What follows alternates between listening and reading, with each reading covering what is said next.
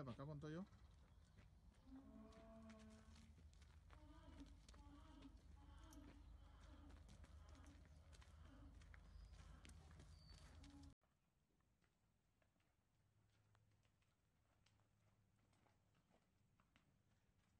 Okay, stop, set her up. Back up. That's good.